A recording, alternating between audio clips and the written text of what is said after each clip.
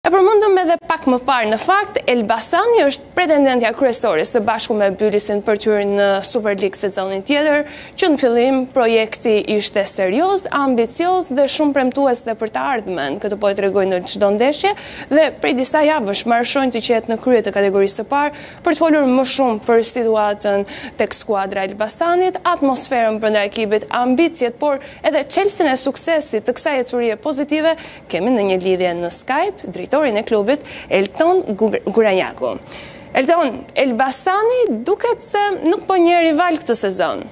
Cili është çelësi suksesit? Përshëndetje Dea.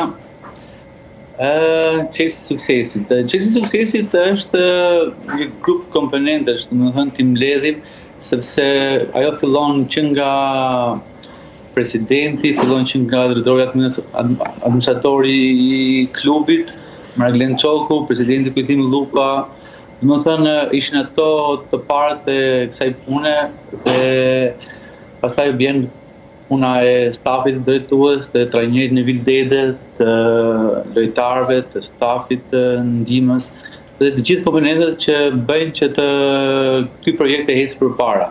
Ky projekt ka nisur para tre vitesh, ne nisëm nga kategoria e tretë dhe ne çdo vit fatkeqësisht kemi kaluar nga një kategori.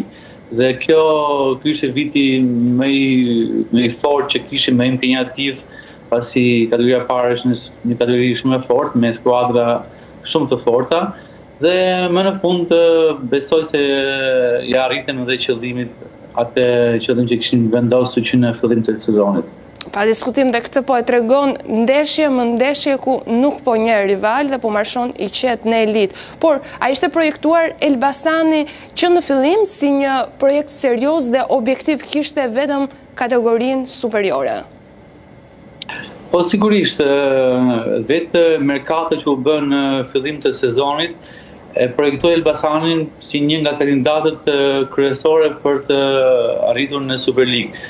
Blerjet e shumta që patëm këtë vit dhe blerjet cilësore do e thoja që erdhën nga Superliga e bënë më të thjeshtë punën për të arritur objektivin.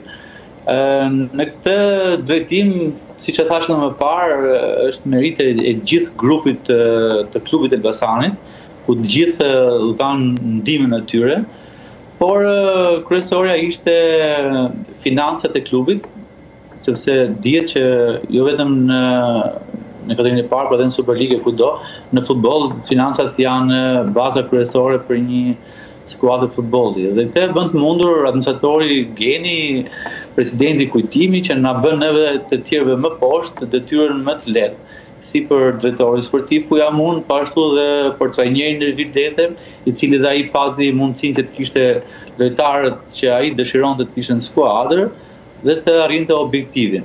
Kështu që blerjet ishin shumë të mira edhe në fakt u treguan që patën sukses. Në vërtet, po flasin edhe në fush në fakt.